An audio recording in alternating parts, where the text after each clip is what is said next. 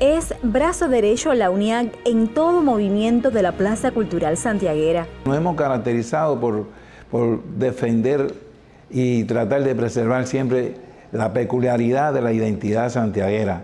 Hemos, hemos batallado por el problema de la racialidad. Nosotros tenemos un trabajo muy serio desarrollado con vista a combatir la discriminación racial. Por ejemplo, la Comisión Aponte, adscrita al Comité Provincial de la UNEAC, funciona desde la cultura.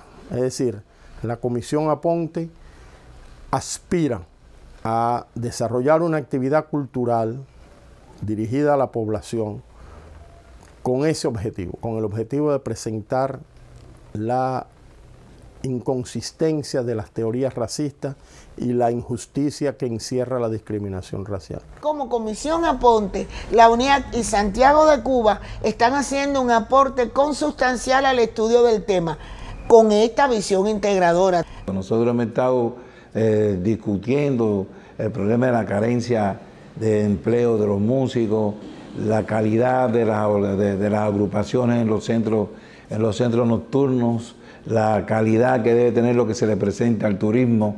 Hemos discutido eh, la calidad de la programación televisiva, la calidad de la programación radial. O sea, que nosotros hemos estado siempre en la vanguardia de todo lo que en realidad requiere la cultura cubana. Pero también la UNIAC ha tenido valoraciones sobre el problema de la mujer.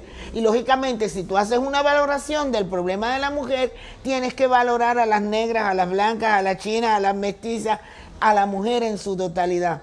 Por eso te digo que el haberle puesto a la comisión racialidad es porque es uno de los problemas fundamentales, pero que al final, desde la integralidad, estamos tocando tanto en la unidad, en la comisión Aponte, como en la comisión del gobierno, como en lo que hacen todas las entidades vinculadas, los problemas sociales que afectan a la población santiaguera.